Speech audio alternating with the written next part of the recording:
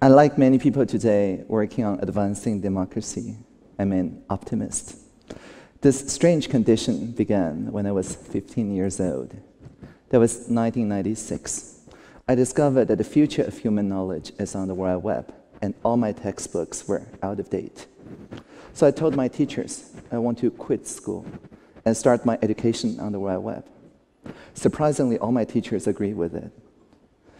And so a year later, I founded my first startup of many, working on web technologies. And I discovered this fabulous internet community that runs with this crazy idea of an open, multi-stakeholder political system that powers the internet still today. Today, as Taiwan's first digital minister, I'm putting into practice the lesson that I learned when I was 15 years old. And that's radical transparency, civic participation, and rough consensus. And surprisingly, it's working and it's transforming our society. Now, I want to uh, look at my office. This is literally my office. I'm a teleworking minister, so I can work from anywhere on earth, including here. But this place is special. I meet people every Wednesday from 10 a.m. to 10 p.m. It's my office hour. Anyone can come to here and talk to me as long as they agree for our conversation to be posted to the internet. It's called radical transparency. And so this space itself is a co-creation of more than 100 social innovators who come to me and say, for example, a team of designers, of artists, work with people with trisomy differences, with Down syndrome, and say, oh, they look at the world in a very different geometric lens. So how about we make their artwork real and install them as public installation of art, like the soccer field here. And so this space uh, imbues a spirit of creativity in it, and just talk to me every Wednesday can make this space grow more interesting. So it's not just human visitors. We have this self-driving robotic visitors for three times now, each time for a month or so. So they're self-driving tricycles from the MIT Media Lab. But the great thing about these vehicles is that first, it's really slow it doesn't harm anyone if it runs into buildings or even to people. But the second thing is that it's open source and open hardware, meaning anyone with any knowledge of computer programming or hardware can tinker them to fit the, what the society wants. So for example, people saw that it only had one eye, the red eye in the middle. It's like a cyclops, and it's not very friendly. So people changed it so it has two eyes. It can wink and blink at you and integrates better with the society. And this is how we figure out the norm, uh, how the AI should live with humans instead of having the technology dictating the society. We have the social innovation working with technologists. And this is in tune of what our president, Dr. Tsai Ing-wen, said two and a half years ago at her inauguration. She said, before, democracy is seen as a clash between two opposing values. But from now on, democracy must become a conversation between many diverse values. And indeed, in traditional thinking, the government is like a rope in the middle, with each minister maybe a knot. And each different forces, like for economic development versus environmental eco-friendliness, is like the tension that pulls the strings that is the government itself. But now we have a new way of thinking called social innovation.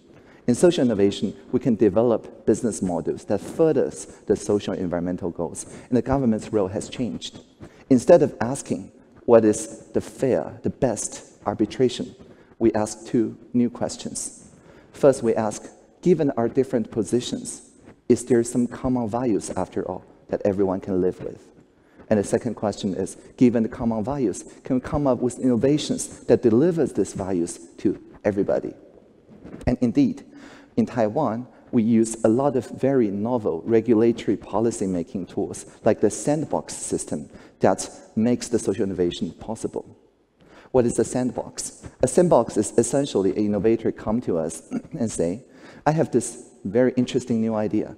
It could be about platform economy, could be about fintech, it could be about self-driving vehicles, you name it. It could be anything. And I think the innovator says, the government's regulations is out of date. Now, instead of fighting with the innovator, we, the regulator, now say, okay, now you're given a year. And during the year, we agree to run with your new version of the regulation, what we call a forked version of regulation, and try it out for a year. So the whole society knows what this wonderful new idea really looks like. And by the end of the year, everybody looks at those hybrid models of transportation, those self-driving vehicles, can say together whether this is actually beneficial to the society. And if it works after a year, then their version of the regulation become our version of the regulation. And if it doesn't work, well, it's open innovation, so we thank the investors for paying the tuition for everyone, and the new innovator can begin where the previous innovator left off. And whenever the members of the parliament think that we want to make a new law, the innovators are given up to four years, essentially a monopoly because everybody else is still illegal. And while the MPs figure it out, and of course, by the time they figure out the law, a competitor will enter the market. Now, how do we actually discover what the regional society needs? How do we even discover where the indigenous, the rural, the remote islands needs? Well, I tour around Taiwan every couple Tuesday or so. So Wednesday, people come to Taipei, our capital city, and on Tuesdays, I travel around Taiwan. The greatest thing about Taiwan is that we have broadband as a human right.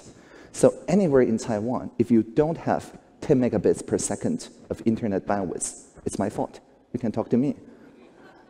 And unlimited um, data transmission with 4G network is less than 20 euros per month for everybody.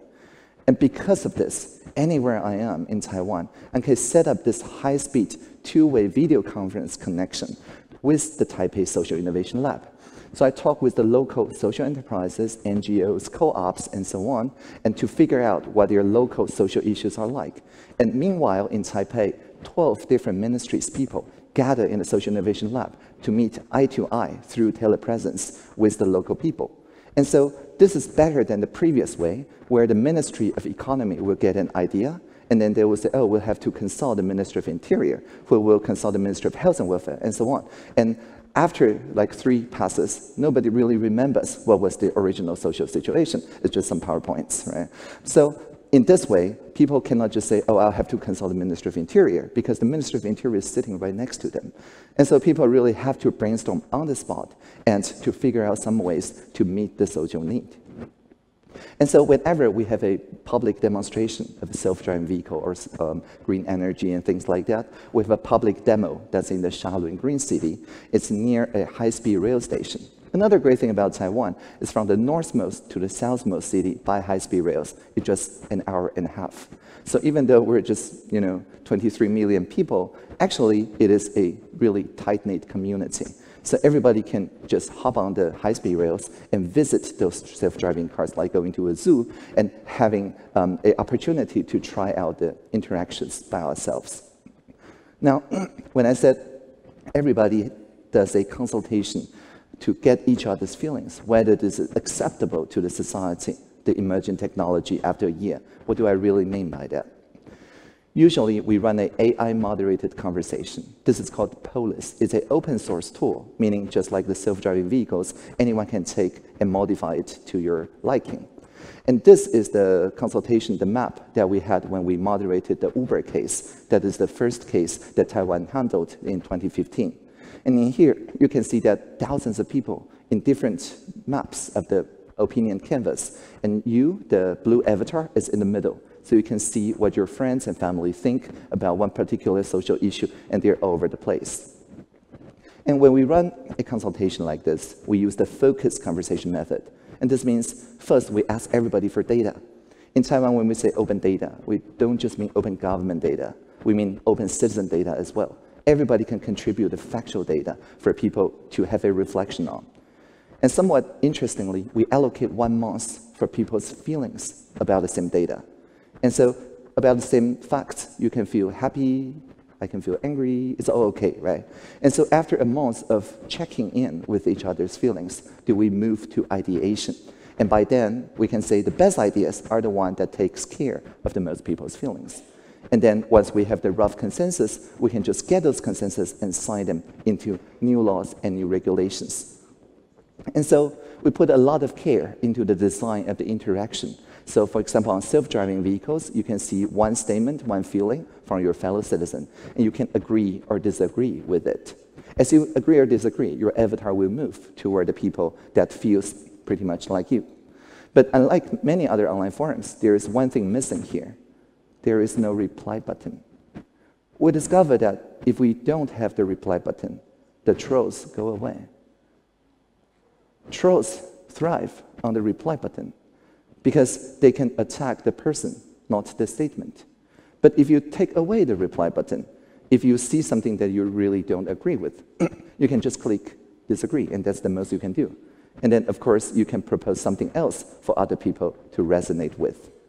And so, after running a consultation for a month or so, we always get a shape like this. And this is maybe the most important slide in this entire deck. If you look only at mainstream media, or indeed some social media, people often think that the society is divided, like two dogs pulling a rope, right? And they're mostly focused on those like five things that is the most divisive. However, using Polis, we can see clearly that most people agree with most of their neighbors on most of the things, most of the time. It's just it doesn't dominate the regular discussion on social and popular media. And by giving people a reflection of the rough consensus that they actually had, we can put those into regulation first, because it's already a norm, while tabling or deferring the legislation of the divisive issues. We can experiment for another year so that everybody has first-hand experience before deciding. And so that is how we deliver the social innovations that is a picture of the people's consensus and when I said forking the government or forking the regulatory system, there is one of the largest civic technology community in Taiwan, or rather started from Taiwan and went everywhere in the world, and it's called GovZero or G0V. It starts with a really simple idea. All the government websites in Taiwan ends with gov.tw. And this domain name is g0v.tw for each of the service of the public service that the people don't like or think that is too boring or think that it's missing. Instead of blaming why nobody is doing this, the motto of GovZero is admitting that we're the nobody that can do this. And so in the, every public service website in Taiwan, something that gov.tw, if you, if you change a O to the zero, then you get into the shadow government website that is interactive, that is open source, that delivers a forked a new vision of the public service. And so in 2012, the first GovZero project is called the National Budget Visualization. It used to be the national budget of Taiwan is 500 pages of PDF, and nobody wants to read through them. But GovZero made it so that it become an interactive map. You can drill down to the particular budget item that you care about and have a real-time conversation. And after I became the digital minister, of course, I merged this innovation back into the government. So now in the e-participation platform of Taiwan, of which 5 million people out of 23 million is a part of, um, you can see thousands of different ministerial projects, all the procurement KPIs and things like that. Anyone can comment on it, and the career Public Service just respond to you directly without the mediation of MPs or of journalists. And this enables a overview effect of the citizen to what the government is doing. Another recent example of GovZero is this airbox experiment. In Taiwan, people care about the air quality, for example, PM 2.5 and so on. And so about 2,000 people all individually purchased some small devices, IoT devices called Airbox and it measures air quality for less than 100 euros. So it can be put on your schools, on your balcony, or anywhere. And it's not just measuring for you. People publish it to a distributed ledger or blockchain so that people can uh, rest assured that people will not mutate, change each other's numbers. And the government can suddenly see much more because people can contribute their citizen science measurements. Of course, that is not just limited to Taiwan because the Airbox system is open source. Anywhere in the world, people can just download and run with it. And the great thing about Taiwan's democracy is that we when we see this kind of legitimacy threatening civic tech projects, instead of beating them, of course, we join them. And so we look at systemically where in the map is missing, maybe in industrial parks, maybe above the Pescadores Islands, and then we set up the airboxes where the people think there should be, but the civic tech community can't quite get there. And so every year, we run a presidential hackathon based on the data of the collective intelligence, the CI system, the environmental data system. In the presidential hackathon, everybody can propose any idea. Every year, we get hundreds of ideas. And each idea is shuffled into a trilingual team of data scientists, of domain experts, and of public servants. And so each of the trilingual team delivers their pitch to the president by the end of the three months co-creation process. And five teams every year win the prize of no money. They want a trophy from the president herself, and the trophy is a projector. If you turn on the projector, it projects the image of the president herself handing you the trophy. It is very useful in interagency communication. And they get a presidential promise that whatever their proof of concept is, in the next fiscal year, the Taiwan government will implement the idea as the public service, so maximizing the impact.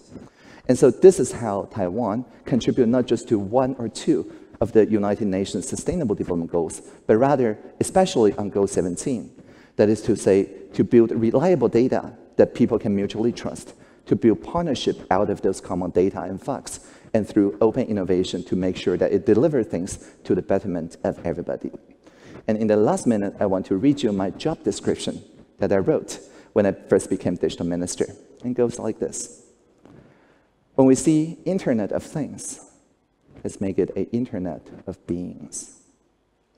When we see virtual reality, let's make it a shared reality. When we see machine learning, let's make it collaborative learning. When we see user experience. Let's make it about human experience. And whenever we hear that a singularity is near, let us always remember the plurality is here. Thank you so much.